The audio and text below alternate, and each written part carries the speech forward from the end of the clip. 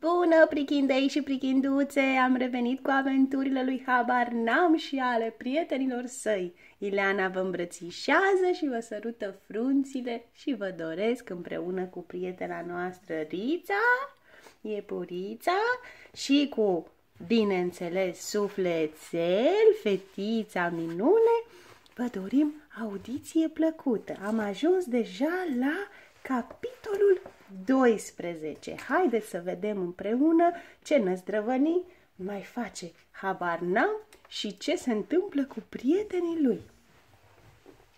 Capitolul 12. Noi cunoștințe.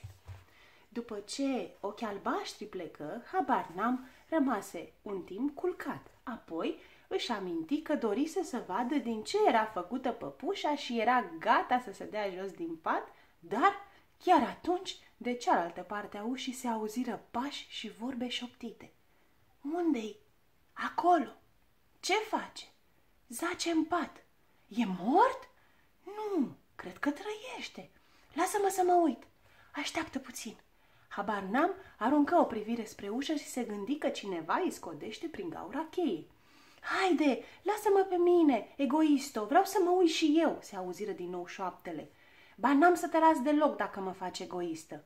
În spatele ușii se produse frământare. Ascultă, nu te împinge așa! Se auzi un șuierat furios. Dacă mă mai împinge odată, te iau de păr! Iar eu te iau de coate și o să-ți trag și un picior. Habar n-am vrut să vadă cine se ceartă. Sări din pat și deschise brusc ușa. Răsună o pocnitură înfundată și habar n-am văzut în fața sa două prichinduțe. Ele săriră în lături și cu mâinile la frunte îl priveau speriate. Una din ele avea brodat pe șorțuleț un iepuraș verde, cealaltă o veveriță roșie.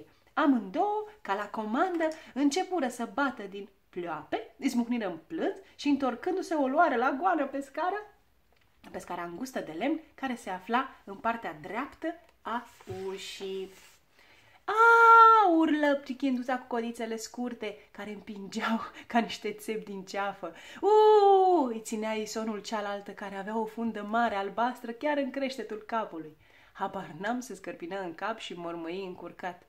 Ia te uită ce chestie! Mi se pare că le-am lovit vârtos cu ușa. De teamă să nu mai facă cine știe ce altă poznă nouă acasă, el se băgă în pat, hotărât să adoarmă dar pe coridor se auziră iarăși pași. Ușa fu deschisă și în odaie își băgă capul o altă prichinduță. Avea părul cârlionțat, niște ochișori veseli, poznași și o mutrișoară șireată, cu năsuc ascuțit.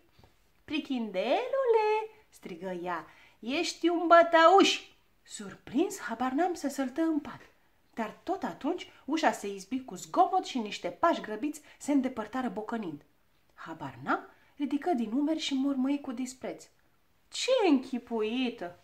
Își lăsă capul pe pernă și chiar începu să picotească, însă ușa se deschise din nou și în odaie își băgă capul aceeași pricânduță cu părul cârlionțat.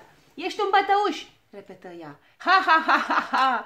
Apoi ușa a fost trântită cu zgomot. Habar n-am, țâșni din așternuturi și ieși în goană pe coridor. Dar acolo nu se mai afla nimeni. Bine, zise habar n-am amenințător. Luă de pe măsuța de scris o riglă de lemn și se ascunse după ușă. N-a trebuit să aștepte mult. Curând se auziră pași pe coridor. Habar n-am, ridică rigla.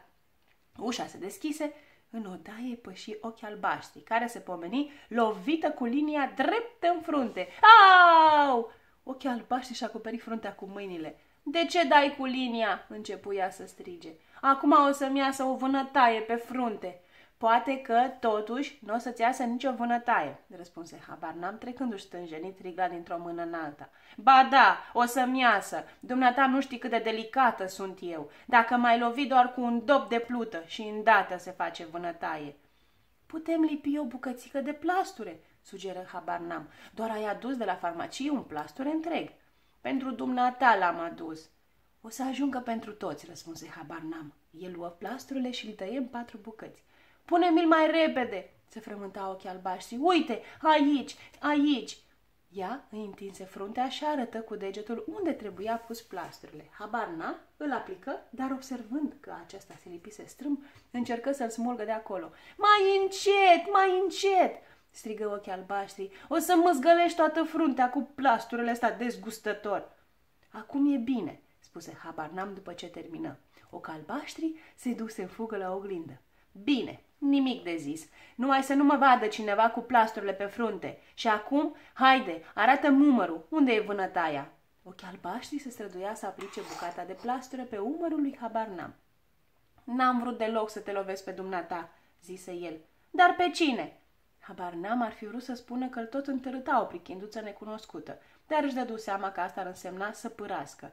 Nu, nimic, răspunse el. Pur și simplu am vrut să văd dacă pot pocni pe cineva cu linia asta. Voi, prichindeii, nu faceți altceva decât să vă gândiți cum să loviți pe cineva, iar când altcineva vă pocnește pe voi, nu vă place deloc. De ce zâmbești? Ți se pare caragios că am un plasture pe frunte? Ea se apropie din nou de oglindă. Într-adevăr, e tare caragios să ai pe frunte un pătrat din ăsta. Dar fă din el un cerc, o sfătui habar n-am. Ochii albaștri desprinse plastrurile, îl tăie, rotund cu farfeca și lipi iarăși pe frunte. Nu ți se pare că e mai bine așa?" se întoarse ea către habar n-am. Bineînțeles," confirmă el. După părerea mea, îți stă chiar bine cu el. Cu ploapele lăsate, ochii albaștri început să se studieze în oglindă. Și acum Adun pantalonii și cămașa, îi ceru, habar n-am. Du-te și te spală și după aceea îți vei primi hainele. Ochii albaștri îl duse pe habar n-am la bucătărie. Acolo, lângă un perete, era un lavoar. Alături, într-un cui, atârna prosopul, iar pe o policioară se aflau săpunul și praful de dinți. Uite, ai aici peria de dinți și aici ai praful de dinți. Trebuie să te speli pe dinți, spuse ochii albaștri întinzându-i lui Habarnam periuța. Nu pot să sufăr praful de dinți, bombăni Habarnam. Și de ce, mă rog? Are gust rău. Doar nu trebuie să-l mănânci. Tot unai, mă pișcă de limbă.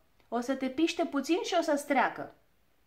Habar n-am început să se spele în silă pe dinți. Dădu de două ori cu periuța, se schimonosi și scuipă cu scârbă. Apoi își clăti gura cu apă și începu să-și săpunească mâinile. După ce termină cu mâinile, puse săpunul pe policioară și începu să se spele pe față. Și fața trebuie să o speli cu săpun, spuse ochii, alba, ochii albaștri. Dă-l încolo, răspunse habar n-am, întotdeauna mi intră în ochi. Nu există, te rog, spune cu severitate ochii albaștri. Altfel nu-ți dau hainele. N-avea încotro. Habar n-am își săpuni puțin fața și repede se apucă să dea cu apă. Brrr, se scutură el. Ce rece e apa! Cu chiu cu vai își clăti obraje și fără să deschidă ochii întinse mâinile bâșbâind pe perete. Văzându-l, ochii albaștri abia își stăpâni râsul. Ce cauți?" Prosopul!" răspunse habar n tremurând de frig. De ce ți ochii închiși? Deschide-i!" Cum să-i deschid dacă a furisitul ăsta de săpun și, și așa am intră în ei?" Trebuia să te clătești mai bine." Ochii albaștri luă din cui prosopul și îl întinse lui Habarnam. Acesta își frecă fața cu prosopul și abia după aceea se hotărâ să deschidă ochii. Ei, uite, acum ești incomparabil mai curat și chiar mai frumos spuse ochii albaștri și, observând urmele de murdărie rămase pe prosop, încheie. Data viitoare va trebui să te speli mai bine. Numai prima oară sunt mai îngăduitoare. Ea îi aduse hainele și îi spuse, îmbracă-te și vino sus să bei un ceai. Nu-i așa că ți s-a făcut foame? Strașnic, mi s-a făcut o foame, recunoscu habar n-am. Cred că aș fi în stare să mănânc un elefant întreg. Bietul de tine! Ei, hai, vino repede, te așteptăm! Prichindeii mei și prichinduțele mele, finalul capitolului 12. Ileana, Rița și Sufletel vă îmbrățișează, vă iubim și vă așteptăm data viitoare. Pa, pa!